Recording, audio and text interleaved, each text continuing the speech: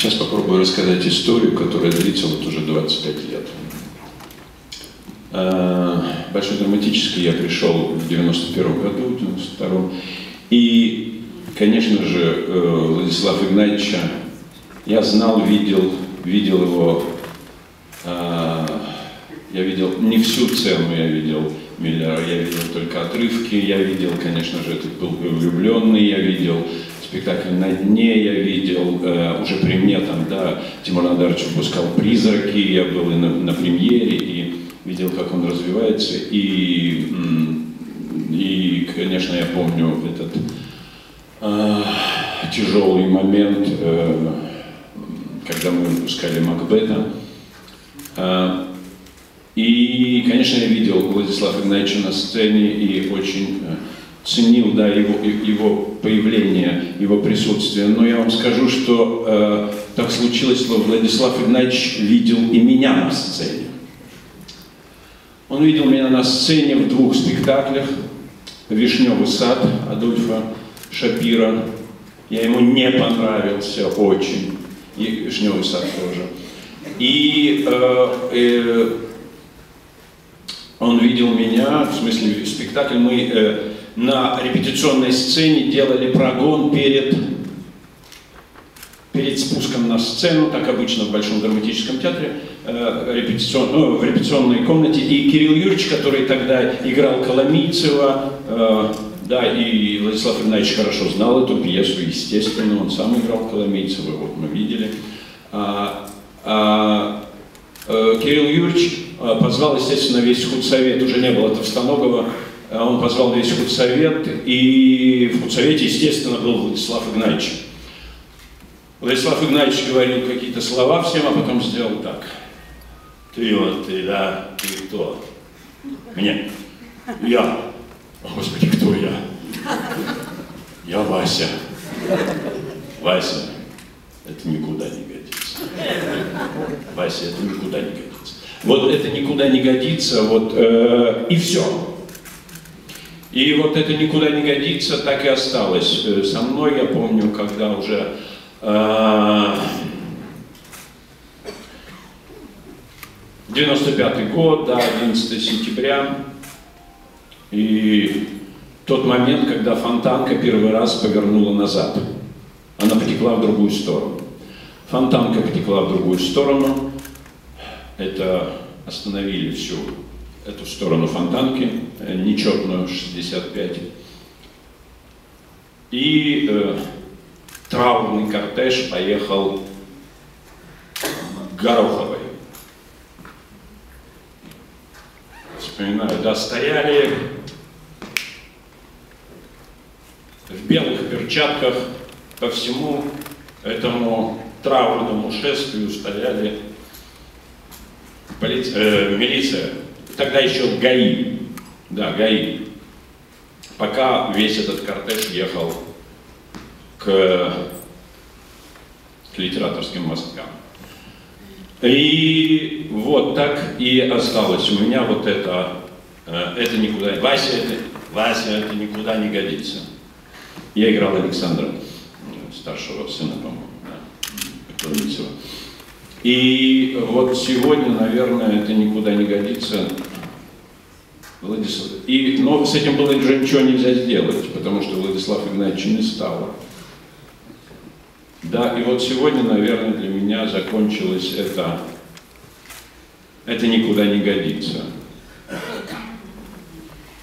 Спасибо, Владислав Игнатьевич. Спасибо большое. Вот, спасибо, Владислав Игнатьевич. Наверное, это для меня а, огромная честь, большая честь. После этого никуда не годится. И еще я хочу, э, очень важно для меня сейчас здесь вспомнить человека, и мне очень важно стоять в этом ряду, даже не важно, я не знаю, как слово найти.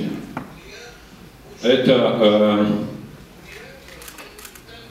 э, еще один очень важный для меня человек Андрей Юрьевич Тутбеев, который был э, э, лауреат этой премии, и э, вот тогда, когда я пацаном пришел э, в театр, Большой драматический театр, это были небожители. Для них до них было, ну, это небожители, к ним не подойти. То есть можно было подойти, но никакой связи нет. И вот Андрей Юрьевич, это была э, та ниточка, та связь, которая соединяла мое поколение и вот это поколение великих этого большого драматического театра. И благодаря Андрею Юрьевичу, э, наверное, что-то э, такое. Вот мы как-то, лично я вот как-то причастен к, к Большому драматическому театру, поэтому мне очень важно вспомнить сегодня еще лауреата этой премии Андрея Юрьевича. Э, еще хочу сказать, извините, и да, что так долго, наверное. Еще хочу сказать, что для меня это 11 сентября тоже, сейчас могу Э, такой э, сложный день, так, и 11 сентября, и 31 января. 11 сентября 41 э, года был расстрелян мой дед, Релков Василий Васильевич, как в Орловском Централе, когда подходили фашисты по личному указу. 11 а сентября родилась моя сестра, а 31 января, кроме того, что я получил сегодня эту замечательную премию и родился выдающийся, ну, гениальный актер, еще сегодня день рождения у моей супруги, которую я очень люблю и которую я, ну, благодарен ей чрезвычайно. Это Светлана. Светлана, спасибо.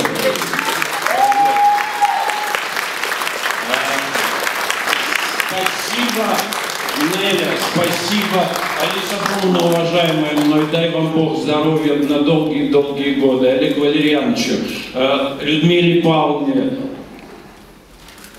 героической женщине, до последнего момента, как она могла приходить, она приходила в театр, она приходила в театр уже, я понимал, что ей очень-очень-очень тяжело. Она любит театр, она болеет за театр, гениальная женщина. Спасибо вам большое. Для меня это Э, ну, какой-то вот 25 лет. Спасибо.